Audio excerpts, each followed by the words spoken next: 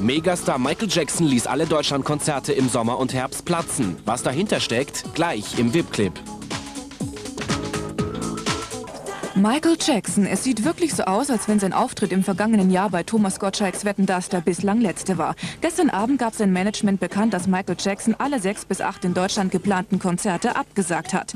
Heute Morgen wurde die Hiobsbotschaft nochmal bestätigt. Jetzt müssen die Fans des King of Pop also ganz tapfer sein.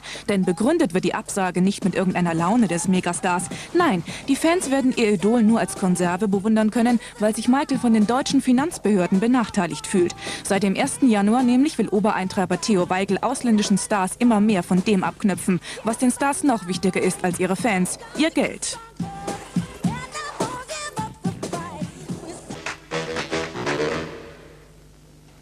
Unser Thea Weigel erlebt in diesen Tagen etwas ganz Außergewöhnliches. In seinem Büro türmt sich die Fanpost. Die Absender sind aber nicht begeisterte Anhänger des Finanzministers. Nein, sie sind Anhänger von Megastar Michael Jackson. Der klammert nämlich Deutschland bei seiner nächsten Welttournee aus. Begründung? Überhöhte Forderungen der deutschen Steuerbehörden. Seit dem 1. Januar müssen ausländische Künstler wesentlich mehr Geld an den deutschen Staat abführen und somit würden Jackson-Auftritte in Deutschland unrentabel werden. Armer Jackson, tja, und arme Jackson-Fans.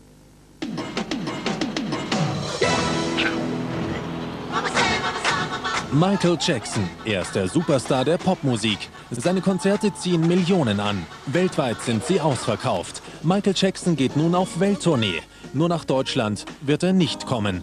Die Konzerte hat er in dieser Woche abgesagt. Schuld ist Theo. Der Finanzminister will vom Amerikaner Jackson 160.000 Mark für die deutsche Steuerkasse und das für jeden Auftritt. Ich weiß nicht genau, wie viel er zahlen muss, weil ich meine, eigentlich hat er ja genug Geld. Verdienen ja genügend Geld, da kannst du euch ein bisschen was von abgeben. Mann. Der arbeitet so mühsam und dann nehmen die ihm das ganze Geld weg für die Steuern. Also ich finde das gemein. Wer in Deutschland Michael Jackson sehen will, dem bleiben nur die Videos. Schade. Tja, wenn die Bonner Sparkommissare bei ihrer Linie bleiben, kann es passieren, dass Deutschland bald zur pop- und rockfreien Zone erklärt wird. And it's bad news for Michael Jackson fans in Germany. He's cancelled plans for German dates on his forthcoming European tour.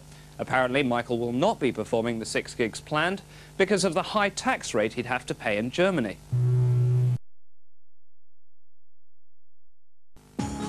Michael Jackson zum Zweiten. Seit bekannt wurde, dass der King of Pop seine Deutschlandtour abgesagt hat, weil er laut dem neuen Steuergesetz für ausländische Künstler zu viel in Weigels Kasse zahlen muss, toben die Fans vor Wut. Und nicht nur die. Vor allem die Konzertveranstalter befürchten, dass man hier bald kaum noch echte Superstars live on stage erleben kann.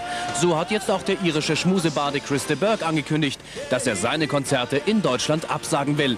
Der adelige Star hat null Bock drauf, den Finanzbehörden höhere Steuern in den Hintern zu blasen blasen.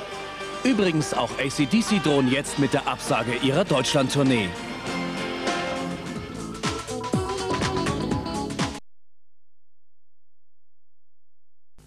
Die deutsche Steuer und Michael Jackson. Vor vier Tagen erst hatte Jackson alle Konzerte in Deutschland platzen lassen. Die Künstlersteuer war ihm zu hoch. Jetzt macht ein netter Brief den Fans neue Hoffnung. Absender ist ausgerechnet der Bundesfinanzminister. Theo Weigel hatte ja kürzlich die Künstlersteuer von 15 auf 25 Prozent geschraubt. Nun gibt Weigel Superstar Jackson folgende Steuerberatung.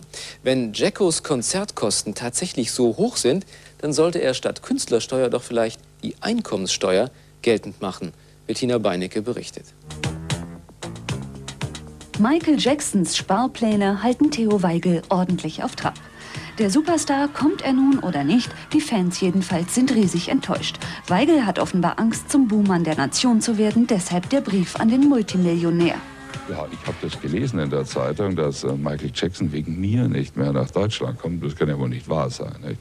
Noch aber ist es wahr. Und so bittet Weigel, lieber Michael Jackson, Sie sollten Ihre Entscheidung, Konzerte in Deutschland abzusagen, noch einmal gut überdenken. Michael Jackson habe ich noch nicht gehört, aber die Rolling Stones äh, im letzten Jahr war ich mit meinen Kindern dort. Und insofern weiß ich das, was, was das für die junge Generation bedeutet. Auszug aus dem Brief. Sie haben bestimmt Verständnis dafür, wenn Sie in Deutschland steuerlich nicht bevorzugt werden können gegenüber Ihren zahlreichen Anhängern, die hier auf Ihren Auftritt warten. Michael Jackson muss nun erstmal nachdenken. Morgen ist er im Phantasialand bei Köln und fährt dort Achterbahn. Ganz steuerfrei, versteht sich. Vielleicht könnte Theo mitfahren. Michael Jackson has been asked to think again over not playing in Germany. The finance minister Theo Weigel has written to Michael after he decided to cancel the German leg of his tour because he would have to pay a huge tax bill. Herr Weigel says thousands of fans would thank him if Michael reconsidered. In return, Herr Weigel would come to some compromise regarding the tax. Eigentlich wollte Michael Jackson für mehrere Konzerte nach Deutschland kommen, aber mit der Steuer wird es zu teuer und die Frage der Woche lautet demnach, kann man noch gegensteuern? Wir versuchten heute ein Treffen zwischen Michael und Weigel zu arrangieren und baten den Popstar ins Finanzministerium zu einem Gespräch unter vier Augen und zwei Brauen.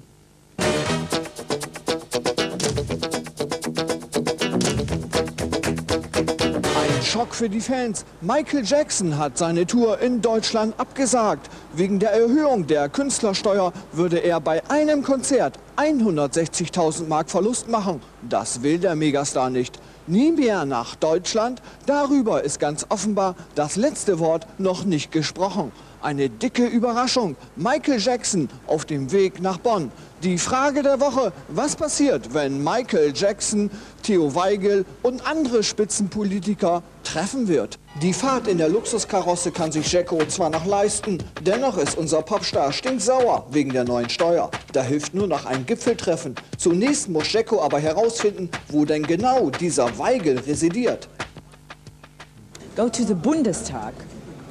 Uh, you know where it is? The Parliament. The Parliament. There you can find him today. Herr Theo Weigel. I'm looking Keine. Ahnung, wo der ist. Where you can find him? Yes. Where is his office? Is it somewhere here? No, it's Or over in the there? Ministry of Finance. Finance. It's in the Grau-Rheindorfer Straße.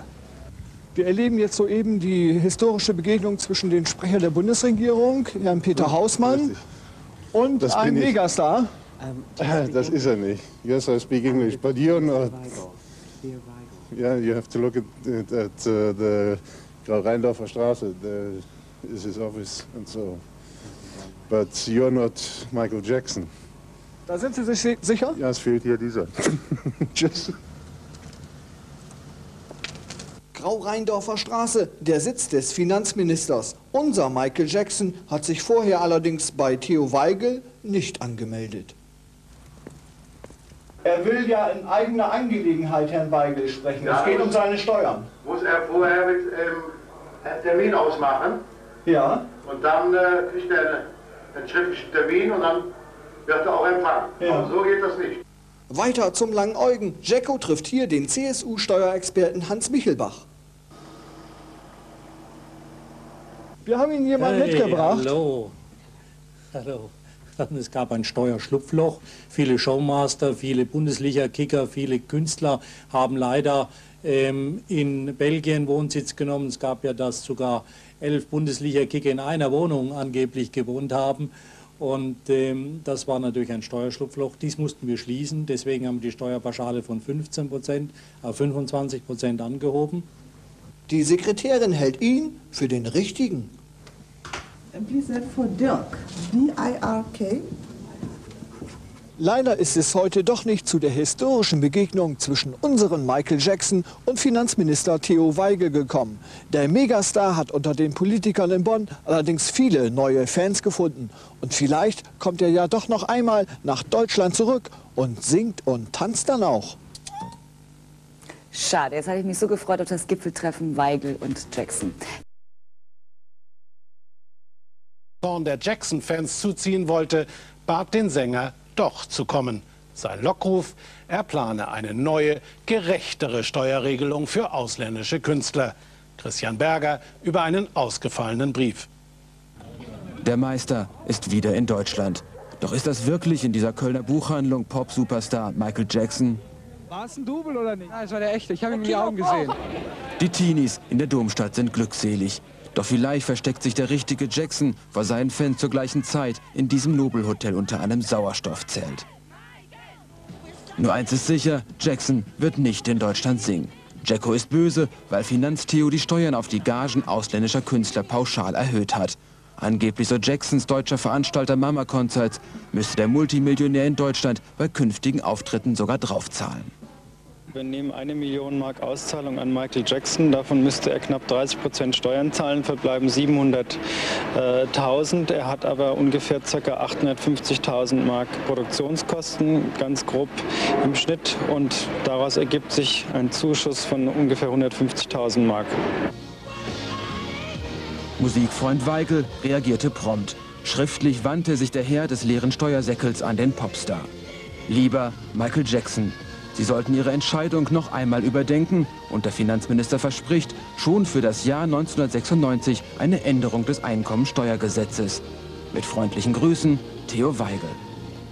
Hierüber habe ich mich sehr gefreut, denn es zeigt einen Respekt vor einem herausragenden Künstler unserer Unterhaltungskultur. Von derlei persönlicher Ansprache durch Theo Weigel kann jeder Normalsteuerbürger nur träumen. Und die Konkurrenz wundert sich, denn Stars wie Tina Turner denken gar nicht daran, ihre Konzerte abzublasen. Für meine Begriffe ist das eine ganz gezielte Meldung, die dafür sorgen soll, das Thema Jackson heiß am Kochen zu halten, um dann im nächsten Jahr umso besser zuzuschlagen. So tragisch es für die Kölner Teenies ist, dass sie ihr Taschengeld vorerst nicht ihrem Popidol opfern können, Michael Jackson ist in der Tat der Letzte, der wegen des zu Recht umstrittenen Steuerknüppels für ausländische Künstler der Herzschlag trifft. Lieber Michael, lieber Theo, euer Streit rüttelt an den Grundfesten der Republik. Vor allem, weil dieses Land und sein Finanzminister zurzeit keine anderen Probleme haben.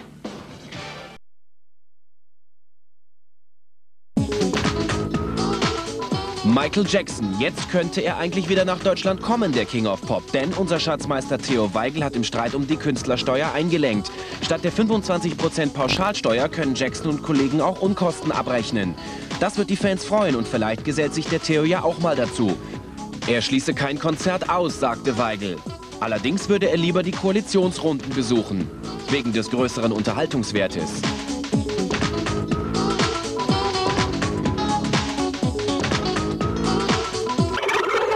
Michael Jackson may have forced a change in Germany's tax laws.